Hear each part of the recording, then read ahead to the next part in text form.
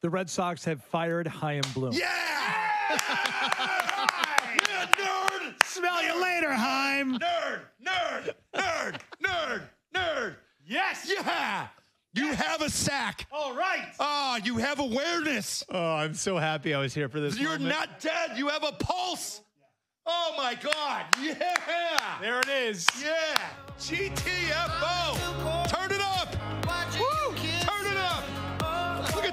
He's in there crying. You might have a baseball team again at some point. He might have a real ball club now. That's a bunch of no names. All right, we have a statement. Wow. Uh, while parting ways is not taken lightly, today signals a new direction for our club. Principal owner John Henry. Our organization has significant expectations on the field, and while Chaim's efforts in revitalizing our baseball infrastructure have helped us set the stage for the future, we will today begin a new search for new leadership.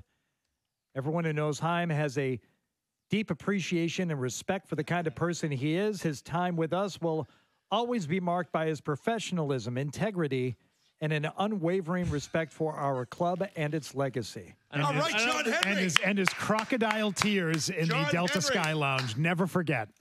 What Never we been saying? forget. Where's the owner? Where's the owner? Well, Is- we still don't know where he is. Well, we still I haven't heard from him, but now would be a good time for him Message to, from the owner, right. This would be a good time I for him to emerge from the Right. uh, bunker. Good maybe job, the Red maybe, Sox. maybe the worst, and this probably isn't his fault, but the worst trade in the history of Boston sports happened on his watch. But it comes from above him, though. I don't know, Bert. There was that whole Babe Ruth thing. So,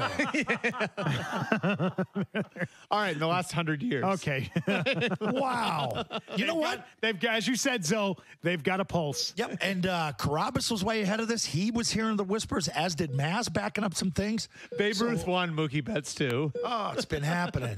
They're not on life support yet. Wow.